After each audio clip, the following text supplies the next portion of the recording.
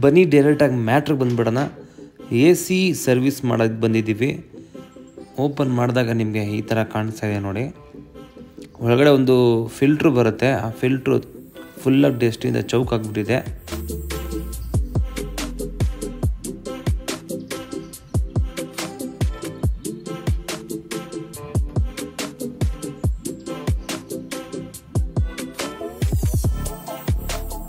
ನೋಡಿದ್ರಲ್ಲ ಫಿಲ್ಟ್ರ್ ಎರಡು ಕೂಡ ಫುಲ್ಲಾಗಿ ಬ್ಲ್ಯಾಕ್ ಆಗಿದೆ. ರೆಗ್ಯುಲರಾಗಿ ಕ್ಲೀನ್ ಮಾಡ್ಕೊಬೇಕಾಯ್ತು ಕಸ್ಟಮರ್ ಕೈಲಿ ಮಾಡಿ ಮಾಡ್ಕೊಳ್ಳೋಕ್ಕಾಗಿಲ್ಲ ಅದರಿಂದ ಒಳಗಡೆ ಕಾಯಿಲ್ ಕೂಡ ಕಂಪ್ಲೀಟಾಗಿ ನೀವು ನೋಡ್ತಾ ಇರ್ಬೋದು. ಡಸ್ಟಿಂದ ಬ್ಲ್ಯಾಕ್ ಆಗಿದೆ ನೋಡಿ. ಮೈಕ್ರೋ ಡಸ್ಟಿಂದ ಫುಲ್ ಬ್ಲ್ಯಾಕ್ ಆಗಿದೆ. ಮತ್ತು ಬ್ಲೋರ್ ಫ್ಯಾನ್ ಕೂಡ ಒಳಗಡೆ ಬ್ಲ್ಯಾಕ್ ಆಗಿದೆ. ಇದನ್ನು ನಾವು ಕಂಪ್ಲೀಟ್ ಡೀಪ್ ಸರ್ವಿಸ್ ಮಾಡ್ತಾಯಿದ್ದೀವಿ ಎಲ್ಲ ಪ್ಯಾನಲ್ ಬಿಚ್ಚಿಬಿಟ್ಟು ನಾವು ಕಂಪ್ಲೀಟಾಗಿ ವಾಟರ್ ಜೆಟ್ಟಲ್ಲಿ ಸರ್ವಿಸ್ ಮಾಡ್ತೀವಿ. ಅದಕ್ಕಿಂತ ಮುಂಚೆ ಹೆಂಗೆ ಲಾಕ್ಸ್ ಎಲ್ಲ ರಿಮೂವ್ ಮಾಡ್ಕೊಬೇಕು ಅನ್ನೋದು ಕ್ಲೀನಾಗಿ ನೋಡ್ಕೊಳ್ಳಿ.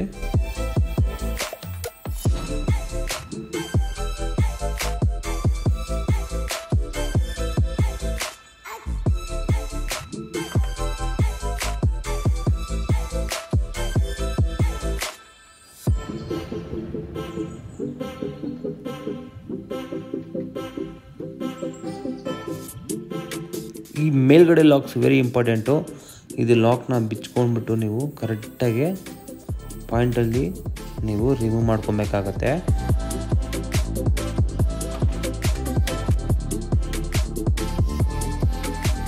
ನೋಡಿ, ಕಾಯಲ್ಲಿ ಯಾವ ಮಟ್ಟಿಗೆ ಗಲೀಜು ಸೇರ್ಕೊಂಡಿದೆ, ಮತ್ತು ಎಷ್ಟು ಗಲೀಜು ಬರುತ್ತೆ ಕ್ಲೀನ್ ಆದಮೇಲೆ ನಿಮಗೆ ಯಾವ ಥರ ಕಾಣಿಸುತ್ತೆ ಪರ್ಫಾರ್ಮೆನ್ಸ್ ಎಷ್ಟು ಇನ್ಕ್ರೀಸ್ ಆಗುತ್ತೆ, ನೋಡಿ ಬ್ಲೋವರ್ ಮೋಟ್ರ್ ಯಾವ ಥರ ಆಗಿದೆ.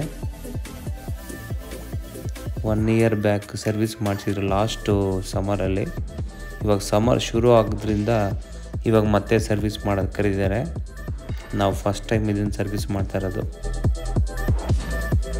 ಪಿ ಸಿ ಬಿ ಕಡೆ ನೀವು ರಿಮೂವ್ ಮಾಡ್ಕೊಂಬಿಟ್ರೆ ಒಳ್ಳೆಯದು ಇಲ್ಲಾಂದರೆ ಒಂದು ಒಳ್ಳೆ ಕವರಲ್ಲಿ ಪ್ಯಾಕಿಂಗ್ ಮಾಡಿದ್ರೆ ಇನ್ನೂ ಒಳ್ಳೆಯದು ಈ ಥರ ಒಂದು ಎ ಸಿ ಕವರ್ಗೆ ಜಾಕೆಟ್ ಬರುತ್ತೆ. ಎಲ್ಲ ಕಂಪ್ನಿಲೂ ನಿಮ್ಗೆ ಸಿಗುತ್ತೆ. ಅದರಲ್ಲಿ ಪ್ರಾಪರಾಗಿ ವಾಲ್ಗೆ ವಾಟರ್ ಹೋಗದೇ ಇರೋ ಥರ ಪ್ಯಾಕಿಂಗ್ ಮಾಡಿ ನೀವೊಂದು ಬಕೀಟಿಂದ ವಾಟರ್ ಡ್ರೈನ್ ವಾಟ್ರ್ ಹೋಗೋದಕ್ಕೆ ಕಲೆಕ್ಷನ್ ತೊಗೊಂಡು ಒಂದು ಈ ಥರ ಪ್ರೆಜರ್ ಪಂಪಲ್ಲಿ ನೀಟಾಗಿ ಲೋ ಪ್ರೆಜರಲ್ಲಿ ನೀಟಾಗಿ ಡ್ರೈ ವಾಟರಲ್ಲಿ ನಿಮಗೆ ಕ್ಲೀನ್ ಮಾಡ್ಬೋದು.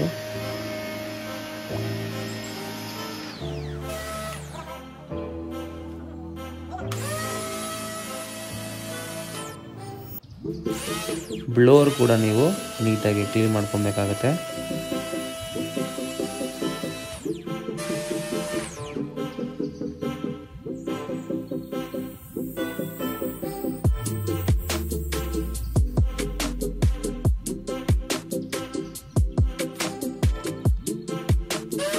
ಟೂ ಟೈಮ್ಸ್ ನೀವು ವಾಟರ್ ಜೆಟ್ಟಲ್ಲಿ ಕ್ಲೀನ್ ಮಾಡ್ಕೋಬೇಕಾಗತ್ತೆ. ಆವಾಗ ನಿಮಗೆ ಕಂಪ್ಲೀಟಾಗಿ ಕ್ಲೀನ್ ಆಗುತ್ತೆ. ಯಾವುದೇ ಥರ ಕೆಮಿಕಲ್ ಇದಕ್ಕೆ ನೆಸೆಸರಿ ಇರಲ್ಲ.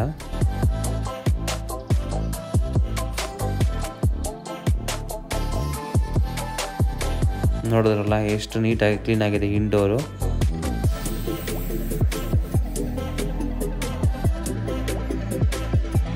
ನಡೆದ ವಾಟರು ಬಕೆಟ್ ಒಳಗೆ ಬಂದಿದೆ ನಡೆದ ಔಟ್ಡೋರ್ ಔಟ್ಡೋರಲ್ಲಿ ಒಂದು ಪೈಪ್ ಬರುತ್ತೆ ಡ್ರೈನ್ ಪೇಪರಲ್ಲಿ ಹೋಗಿದೆ. ಔಟ್ಡೋರ್ ಕೂಡ ಕಂಪ್ಲೀಟಾಗಿ ನಾವು ರಿಮೂವ್ ಮಾಡಿಬಿಟ್ಟು ಕ್ಲೀನ್ ಮಾಡ್ತೀವಿ. ನೀವು ಇದೇ ಥರ ಮಾಡಿದ್ರೆ ತುಂಬ ಚೆನ್ನಾಗಿ ಪರ್ಫಾರ್ಮೆನ್ಸ್ ಬರುತ್ತೆ.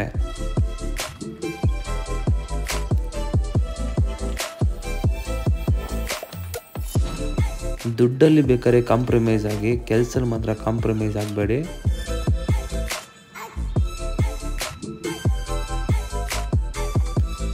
ಇನ್ವರ್ಟರ್ ಮಾಡೋದಲ್ಲಿ ಆಚೆ ಕಡೆ ಪಿ ಸಿ ಬಿ ಬರುತ್ತೆ ಇನ್ವರ್ಟರ್ ಬೋರ್ಡ್ ಅಂತಾರೆ. ಸೊ ಅದನ್ನು ನೀವು ನೀಟಾಗಿ ಎಲ್ಲ ಕ್ಲಿಪ್ಸ್ ಹೇಗಿದ್ದಾಗೆ ನೀಟಾಗಿ ಬಿಚ್ಚಿ ವೈರಿಂಗ್ಸ್ ಎಲ್ಲ.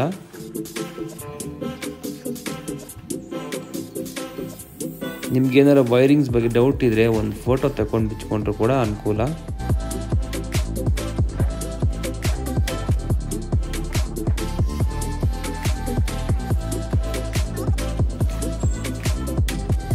ಸ್ವಲ್ಪ ಕೇರ್ಫುಲ್ಲಾಗಿ ಔಟ್ಡೋರ್ ಹತ್ರ ವಾಶ್ ಮಾಡಬೇಕಾಗುತ್ತೆ. ಯಾಕಂದರೆ ಕಂಪ್ಲೀಟಾಗಿ ಪಿ ಸಿ ಬಿ ಬಿಚ್ಬಿಟ್ಟು ಕಂಪ್ರೆಸರ್ ಕಡೆ ಒಂದು ಪ್ಲಾಸ್ಟಿಕ್ ಕವರ್ ಮುಖಾಂತರ ನೀವು ಕವರ್ ಮಾಡಿಬಿಟ್ಟು ಇಲ್ಲೂ ಕೂಡ ಮೀಡಿಯಮ್ ಪ್ರೆಷರಲ್ಲಿ ನೀವು complete outdoor condenser coil fan blade ಎಲ್ಲ ಕೂಡ ನೀಟಾಗಿ ಟೂ ಟೈಮ್ಸ್ ವಾಶ್ ಮಾಡಬೇಕಾಗತ್ತೆ.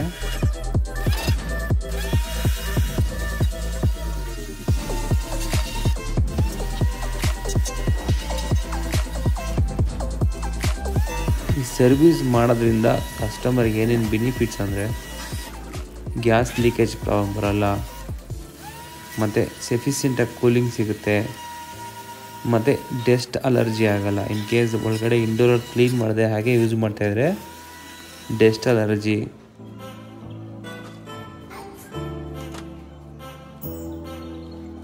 ಪ್ಯಾನಲ್ಸ್ ಕೂಡ ನೀಟಾಗಿ ನಾವು ಒಂದು ಯಾವುದೋ ಒಂದು ಸೋಪ್ ಹಾಕೊಂಡು ನೀಟಾಗಿ ವಾಶ್ ಮಾಡಿದ್ರು ಕೂಡ ಕಂಪ್ಲೀಟಾಗಿ ವಾಶ್ ಆಗುತ್ತೆ.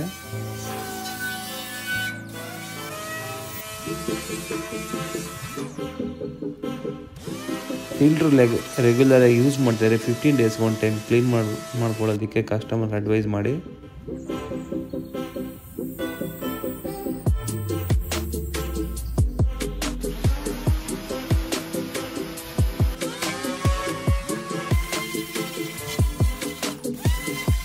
ಒಂದೊಂದು ಮಾಡೋದಲ್ಲಿ indoor ಪ್ಯಾನಲಲ್ಲಿ T C B user board ಇರುತ್ತೆ. ಸೊ ಅದನ್ನು ನೋಡಿಕೊಂಡು ವಾಶ್ ಮಾಡಿ ರಿಮೂವ್ ಮಾಡಿಬಿಟ್ಟು. ಎಲ್ಲ ಕಂಪ್ಲೀಟಾಗಿ ವಾಶ್ ಆದಮೇಲೆ ಒಂದು ಹಾಫ್ ಆನ್ ಅವರ್ ಡ್ರೈ ಮಾಡೋಕ್ಕೆ ಅಷ್ಟೆಲ್ಲ ಔಟ್ಡೋರ್ ಕ್ಲೀನ್ ಮಾಡ್ಕೊಳ್ಳಿ. ಔಟ್ಡೋರಲ್ಲೂ ಆ್ಯಸ್ ಯೂಸಲ್ ಎಲ್ಲ ಹೇಗಿತ್ತು ಹಾಗೆ ಒಂದು ಸ್ಕ್ರೂ ಮಿಸ್ ಮಾಡ್ದಂಗೆ ನೀಟಾಗೆ ಫಿಟ್ ಮಾಡಬೇಕು.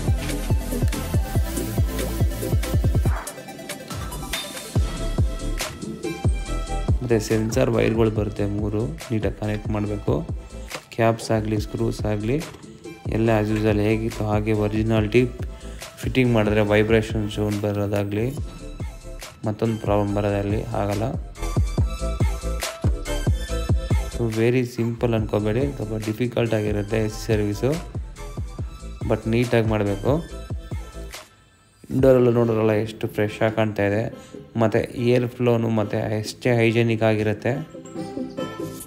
ಬಿಫೋರ್ ಸರ್ವಿಸ್ ಆಫ್ಟರ್ ಸರ್ವಿಸು ನಿಮಗೆ ಫೀಲ್ ಆಗುತ್ತೆ ಯಾವ ಥರ ಪರ್ಫಾರ್ಮೆನ್ಸ್ ಇನ್ಕ್ರೀಸ್ ಆಗುತ್ತೆ ಅಂತ.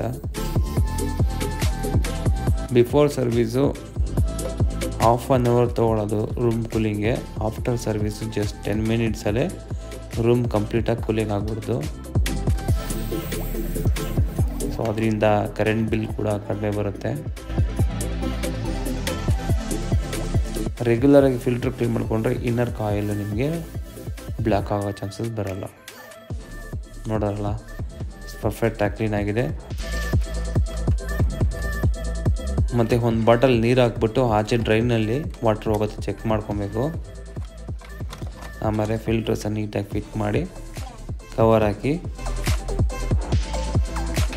ಪ್ಯಾನೆಲ್ಲ ಕ್ಲೀನಾಗಿ ಪ್ರೆಸ್ ಮಾಡಿ ನೀವು ಜೆಟ್ ಮೋಡು ಇಲ್ಲ ಟರ್ಬೋ ಮೋಡು ಇಲ್ಲ ಕ್ವಿಕ್ ಕೂಲಲ್ಲಿ ಹಾಕಿ ಒಂದು ಟ್ವೆಂಟಿ ಮಿನಿಟ್ಸ್ ಇಲ್ಲ ರನ್ ಮಾಡಿ ರೂಮ್ ಟೆಂಪ್ರೇಚರ್ ರೀಚ್ ಆಯ್ತಾ ಅಂತ ಚೆಕ್ ಮಾಡಿಕೊಂಡು ನೀವು ಕಸ್ಟಮರ್ಗೆ ಟಾಟಾ ಬಾಯ್ ಹೇಳಿಬಿಟ್ಟು ಹೊರಡ್ಬೋದು ಮತ್ತು ಗ್ಯಾಸ್ ಚಾರ್ಜಿಂಗ್ ಮಾಡೋದೆಲ್ಲ ನಿಮಗೆ ನೆಕ್ಸ್ಟ್ ವೀಡಿಯೋದಲ್ಲೇ ಹಾಕ್ತಾಯಿದ್ದೀನಿ